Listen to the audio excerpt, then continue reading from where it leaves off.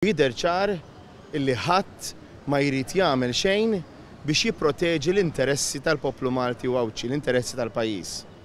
U allura, anke kif qalet il-Qorti tal-Appell, fejn min suppost qed jieħu ħsieb l-interessi tal-pajjiż ħa ħsieb l-interessi tal-barranin, ta' dawk li ħadulna l-isptarijiet, jidher li għad hemm l-istess attitudni. Hekk sostna l-Kap tal-Partit Nazzjonalista, Bernard Grech kif it-Tlieta filgħodu l-Partit Nazzjonalista fetaħ kawża fil-Qrati Maltin sabiex l-Avukat tal-Istat, Chris Soler, ikollu l-awtonomija neċessarja u meħtieġa minnu sabiex ikun jista' jwettaq ix-xogħol li huwa obbligat li jwettaq f'isem il-poplu Malti u Għawdxi.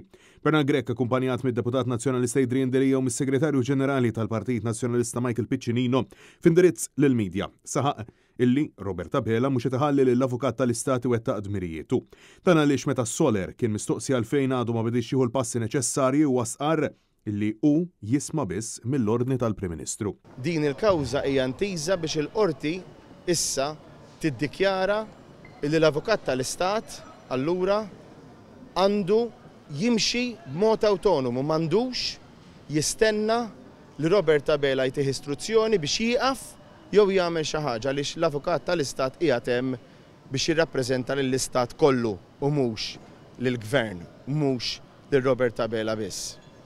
Għalhekk, aħna tlabna wkoll li din il-kawża tinstemma b'urġenza għaliex iva, hemm urġenza biex infittxu nġibu l-erba' mitt miljun tal-poplu Malti u Għawdxi lura. Frank Grech insista li fl-aħħar għaxar xhur minn meta żewġ sentenzi tal-Qorti ddikjaraw li d-deals ma' Vitals u Steward kienu frawdolenti, il-Gvern, għadu ma għamel xejn biex iġib lura flus il-poplu.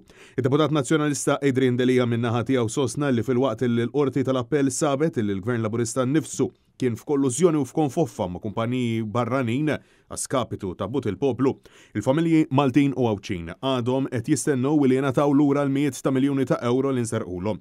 Huwa nsista li fl-aħħar għaxar xhur ħadd ma refa' responsabilità bil-Gvern qed jibqa' jirrifjuta milli jieħu l-passi neċessarji jew tal-anqas li xi ħadd iġorr konsegwenzi ta' għamilu. Kieku ma konniex qegħdin ngħixu f'pajjiż li mhuwiex normali, ma kienx ikun hemm bżonn illi tkun l-Oppożizzjoni illi tagħmel dak li qed nagħmlu aħna.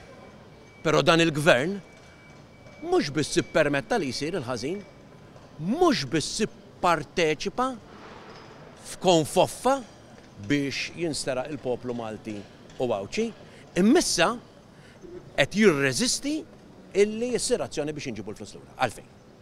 Għax għandu interess. Il-Kap tal-Partit Nazzjonalista Bernard Grech stqarr illi l-Gvern ma jistax jibqa' jiġġustifika dak illi sar u għaldaqstant hu, flimkien ma' deputati tal-Partit Nazzjonalista, se jibqa' jistinka anke permezz ta' din il-kawża, sabiex issir ġustizzja u jinġiebu lura l-miljuni li nsterqu f'din l-akbar frodi ta' pajjiżna. Fil-kawża li nfetħet fil-Qorti, il-Partit Nazzjonalista kien assistit mill-Avukat Edward Debono.